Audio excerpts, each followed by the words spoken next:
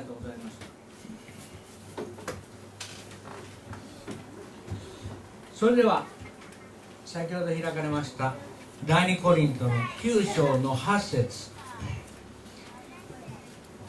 神はあなた方を常に全てのことに満ち足りて常に全てのことに満ち足りて全ての良い技にあふれるものとするためにあらゆる恵みをあふれるばかり与えることのできる方です。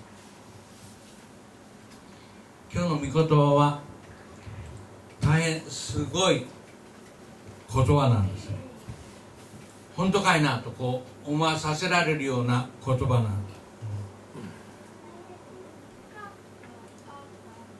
でも長四義牧師はこの場所を開いておられる。同時に詩篇の81編も彼は開いている。詩篇の81編。私はこれをね「はい」と覚えてる。81でしょ「はい」81編の詩篇の81編を私は「はい」と覚えてる。実節しかし我が民は私の声を聞かずん？じゃない。実節ね。81編の実節私があなたの神主である。私はあなたをエジプトの地から連れ上った。あなたの口を大きく開けよあなたの口を大きく開けよ私がそれを満たそう。この言葉も今のコリントの第2の9章8節も同じことを意味しているんです。もう一箇所開きますよ。支援伝道支援信玄伝道。伝道の書の5章の19節。5の19これも皆さんが本当かいなと思う言葉かもしれません。伝道の書の5章の19節。実に本当に神は全ての人間に全ての人間にですよ。富と財宝を与えこれを楽しむことを許し自分の受ける分を受け自分の労苦を喜ぶようにされた。これこそが神の賜物である。今の支援の81編「はい」も、うん、コリント第の8の9の8も、うんこの御言葉も、はい、いい勝負ですね。全ての人間に富と財宝を与えこれを楽しむことを許し自分の受ける分を受け自分の労苦を喜ぶようにされた働きをね。これこそが神様の賜物贈り物。はい。言葉を変えると恵みなんそして長四義士は、はい、今年私たちが開いた最初のヨハネの第3の手紙。黙示録のすぐ手前ですね、うん、ユダ書の手前。第3ヨハネの2節。これはもう1章しかないから2節愛する者にあなたが魂に幸いを得ているようにまず魂の幸いね全ての点でも幸いを得るとこれですね。全ての点でも幸いまた健康であるように祈ります、うん、はい。ということで神は私たち人間をまた信仰者をどういうふうなものにしようか。その願いを持っている、はい、それは私たち人間が心の奥底にどっかに持っている願いと同じなんすなわち成功する人生を送りたいっていう願いなん本当の成功って本当の幸福とまた誇りを持つ、うん、全てに恵まれた人生、うん、成功する人生を生きることを、はい、指してるわけです。私たちの心の中に。それがいくらね歪められてもかすかになっても、うん、人間の心にある。ん。これ神様の願いなの。えー、本当かいなとこう思うんです私たち人間も願うんですけれども神様の願い。神様の願いを神様は人間の心の中に与えてる信仰者たちが成功する人生を送る。幸福と喜びを神様と一緒に共有することを分かち合うことを願っている。神様が世界を作り人間を作った。人間を創造物の冠として作った。そこに願いがある。今日私たちは何歳になっていようが、私のように77歳。アブラハムがイエス様を神様を信じ従った時は75歳なの。先週私は私の牧師指導者のお友達沖縄の人のお話をちらっとしたでしょ、75歳ぐらいに荒川の教会やってきてそして牧師からね荒川の地にどうして教会作ったかどういう考えで作ったかをね聞いたんだ。それで彼はその帰りからね不思議なことに救われる方々が与えられて沖縄に大教会を作ったわずか数年なん大教会を作った途端に彼は天に帰っていってしまった、はい。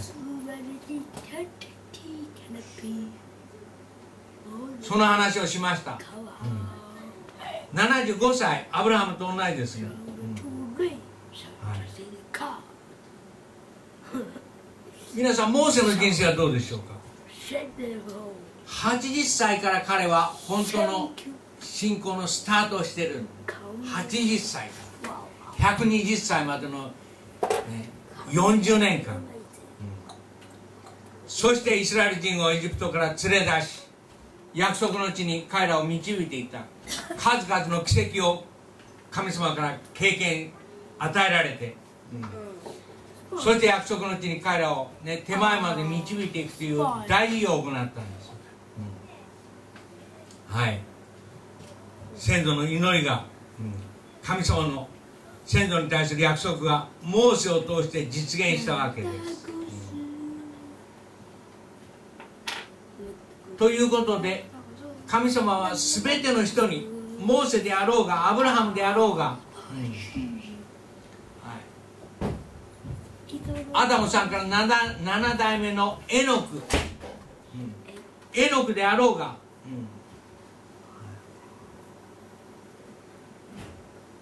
その祝福に預かる私たちは能力と資格がある人間は。神様は人間をそういうものとして作っている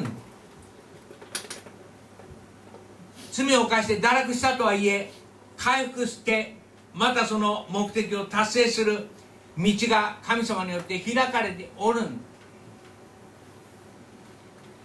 はい。これが神様の究極的な望みでありまた目的なん皆さんのご存知の、うん、アブラハムにしてもイサクにしてもヤコブにしても、うん、アブラハムの、はい、100何歳かの人生の終わり頃彼はもう100歳の時に自分の人生終わりじゃないかと思ってたらしいんですけれども、うん、100歳でイサク子供が生まれてるそれで彼の人生は100歳どころじゃないですよ。ゆきちゃん何歳ですか？アブラハムさんの人生。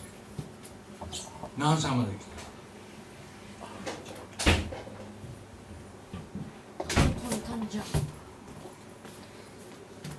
大変な人生生きてる。何歳？175歳まで生きて100歳でもう老いぼれで枯れ木だとか何とか言ってたわけ夫婦でね。奥さんも90歳。175まで生きてる。75からスタートしてる、今のバベロニアだ。カルディアのウルから。イーサクさんもお父さんよりも7生きして180何歳でしょヤコブはちょっと少なくて137歳ぐらい。ヤコブの子供のヨセフさんは110歳ですか？それでも孫たちを何代も何代も見てる、うん、モーセは120歳の、はい、みんなこの人たち、はい、いろんなところ確かに通っているんです。失敗したり嘘を言ったり、うん、ね。とんでもない経験をしたりしているんですけれどもやっぱり、はい、成功してるん。ですそれで祝福を持って、はい、希望を持って、うん、それをまた証しをして一生が終わってるん。です今浦部伝道師が、はい、予部のお話をしました。死は与え死は取られる。傲慢だ、うん、傲慢だったからもしれませんけど予部の生涯の一番終わりはどうでしょうか？子供が倍。失った家畜たちも倍。それでその視線をななんだ7代までですか。大変な祝福を与えられている、忍耐の、はい、代名詞の予部の信仰予部の忍耐。もっと言うならヨナさんという人は神様の命令に、はい、逆らってはい、とんでもない、はい、経験をした人です、うん。はい、大きな魚に飲まれてしまって、ね、海の底まで、ね、下っていった人です。でも彼は、はい、そこでお祈りをして、はい、神様に、はい、陸地に、ね、魚が彼を吐き出してそしてアシリアのニナベの全ての人々が悔い改め王様から動物たちまでが悔い改めるという偉い仕事生涯を送った。ということで、はい、この人も、はい、確かに祝福されてる、新約聖書に入ると皆さん、はい、イエス様の弟子たちペテロ、はい、12人の弟子たちはじめ人たちパウロたち、うん。大変な出来事経験は確かにしているんですけども、はい、その人生は圧倒的な歴史に残る、生涯であったということは誰も否定できない、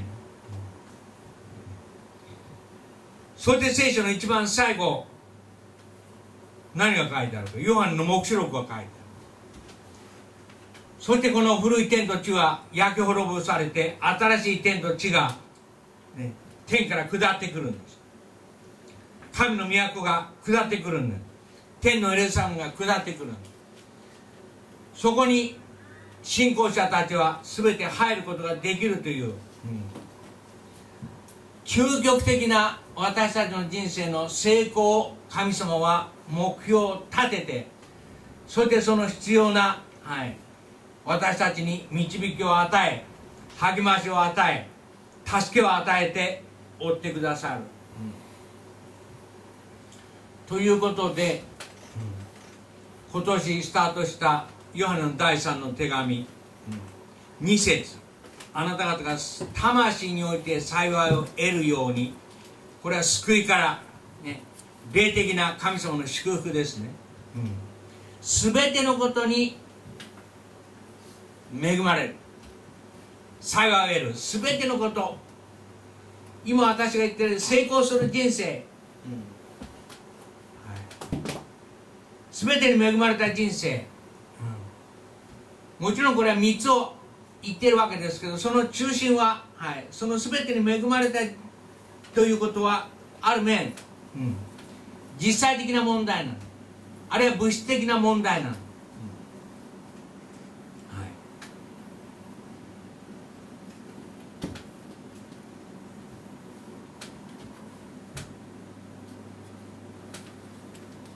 成功する人生って一体どういうものか。今例を挙げてきましたけれども、私たち現代人は成功する人生といったら何を考えるか。物質的な貧しさ豊かさ貧しさ。そこに、うん、人生の成功失敗を置いてしまう。人間のことを人間の歩み方を霊と肉とという表現を使います。肉によって歩む。肉は神を喜ばせることができない。神に従うことができない、で精霊様は神を喜ばせることができる。神の御心に従うことができる、ということで現代人私たちの今の現代人の、はい、人生の成功は、ね、物質的な問題にいつも置いているので聖書は人間のことを肉によって生きるとこう言ってる、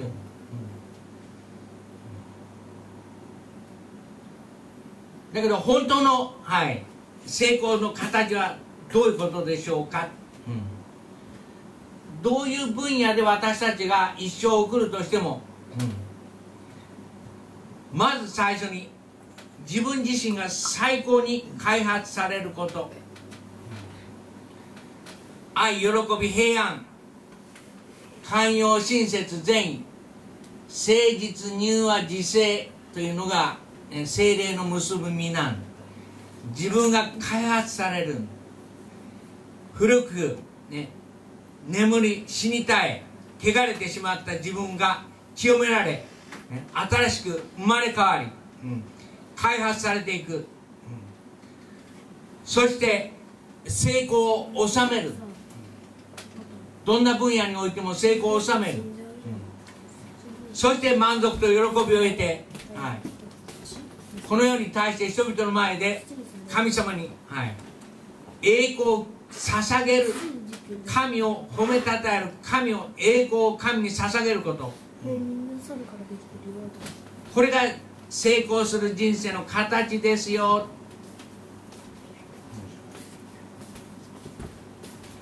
これが超四義士の定義の。事業で学問で学問の研究で福音の伝道で政治家ならば昨日も総理大臣と、クリスチャンの昔の幹事長が論争しておりました、彼の先祖は、有名な牧師なん。一度信仰を失って、そして行き詰まってもう一度信仰に立ち返ったその人の、子孫なん。論争しておった政治家の仕事、うん、福祉や社会の建設で、うん、彼らは、はい、このように祝福を与えようとしている。事業で学問で福音の伝道で、うん。はい、福祉社会国家の建設で成功する時それは成功者。全ての人が同じ成功者ですよ。と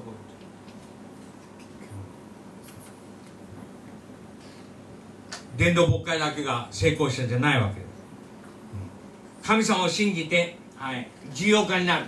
神様を信じて学者になる。神様を信じて福音を伝える。神様を信じて政治社会福祉を建設していく、成功者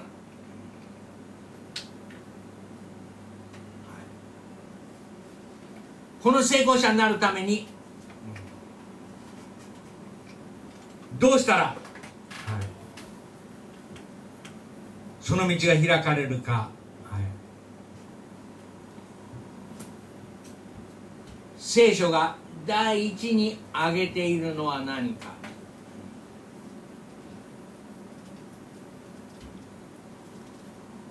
アダムさんから第7代目の人エノクさん。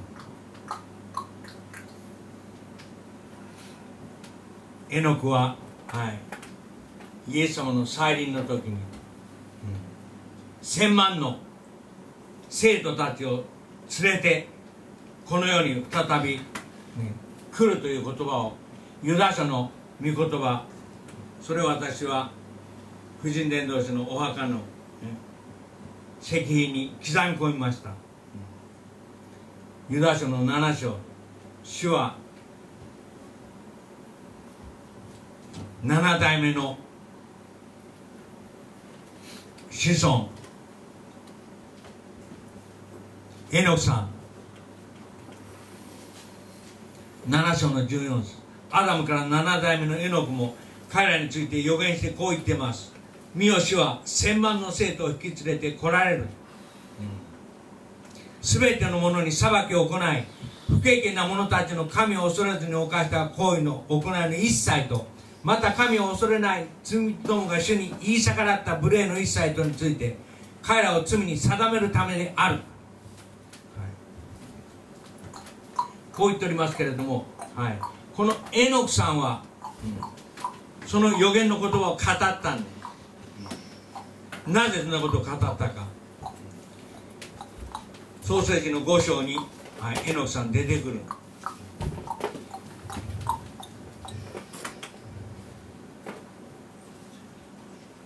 5章の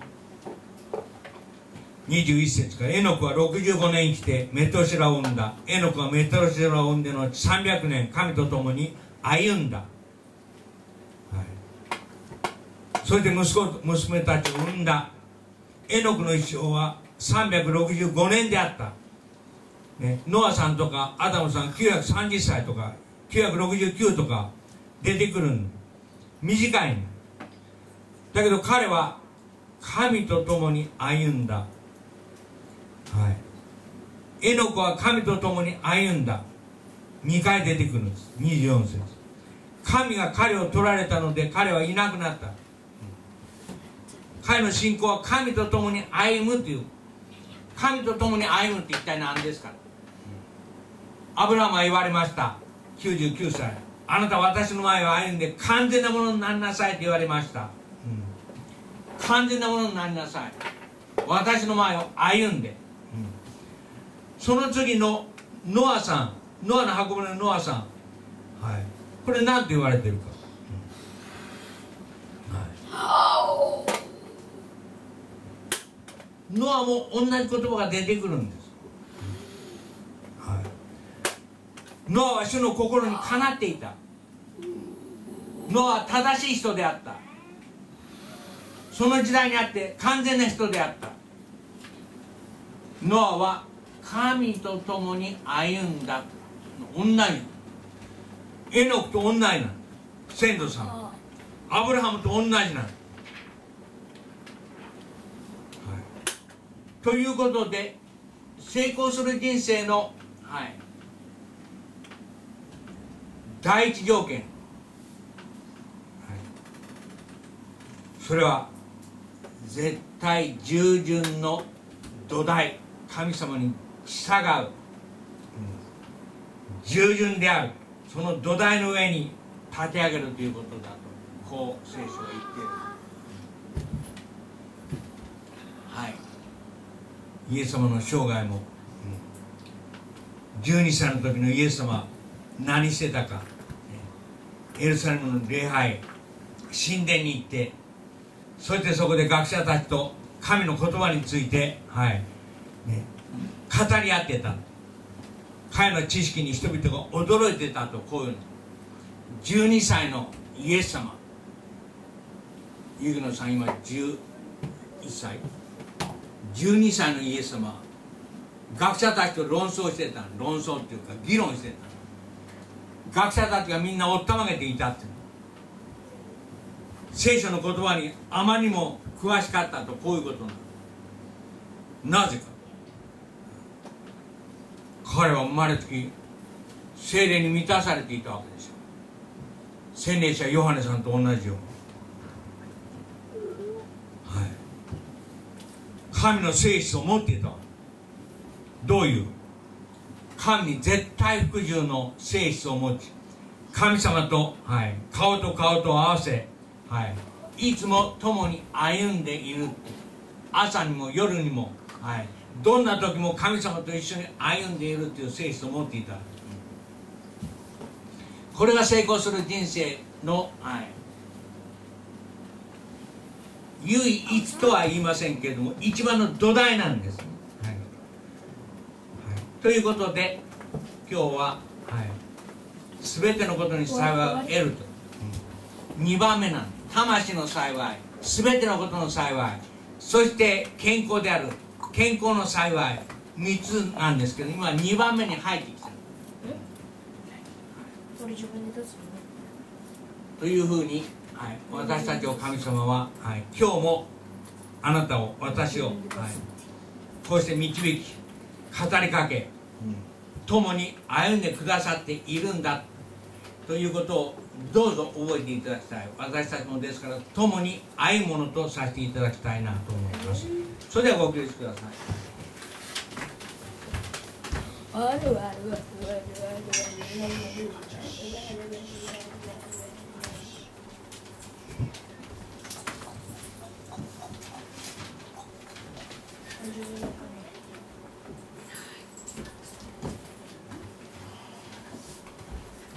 はい。歌集の381番。神様のビジョンに向かってね。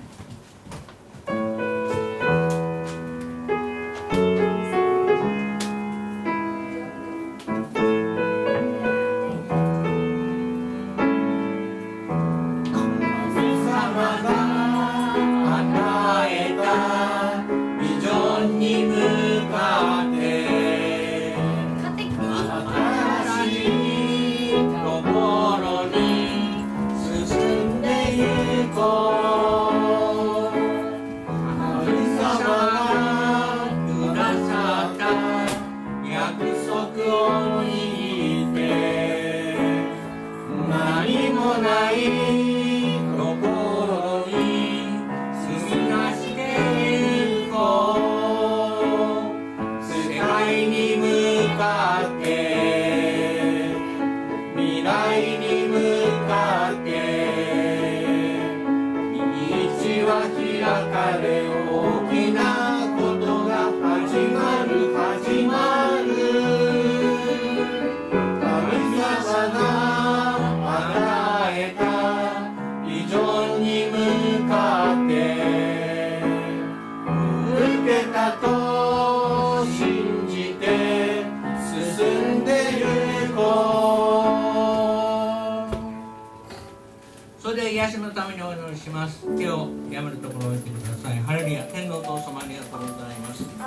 全てのことに満ちたり全ての恵みを持ってあなた方を祝福しようとしておると。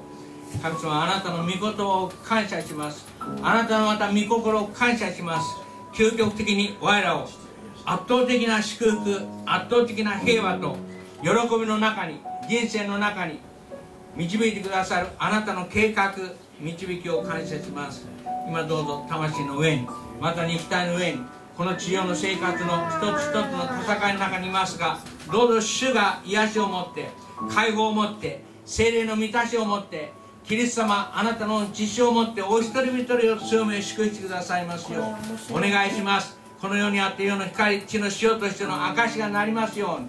全ての人に祝福を分かち与えることができるものとしてくださいますようにお願いを申し上げます。イエス・キリストの歌いで傷によってあなた方は癒された。イエス様の歌で傷によってあなた方は癒された。聖霊様どうぞ我らが口を大きく開けあなたの全ての祝福で満たしてくださいますよう。癒しで満たし実際で満たし魂の満たしを豊かに与えてくださいますようにお願いを申し上げます。三拍子の祝福を持ってあなたを明かしすることができますよう。お一人一人その立場その年齢その性別に関わることなくあなたの祝福に預かりますように。メッセンジャーが語られました。神様は真実な方でありその祈りに必ず答えを与えてくださると語られましたがどうぞ主がその技をなしてください。イエス様の皆によって信じ感謝してお祈りします。アメン。それでは奨励祝祷賛美歌の7番「父御子御霊」これを歌います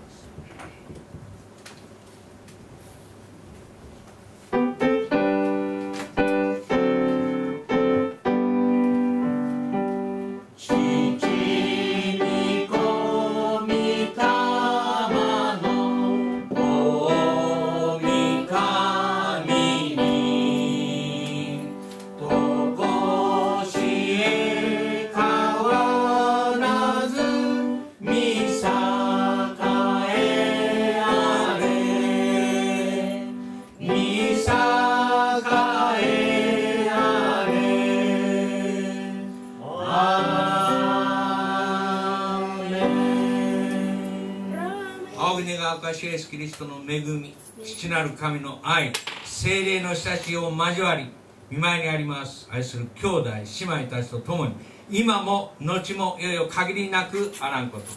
アーメン。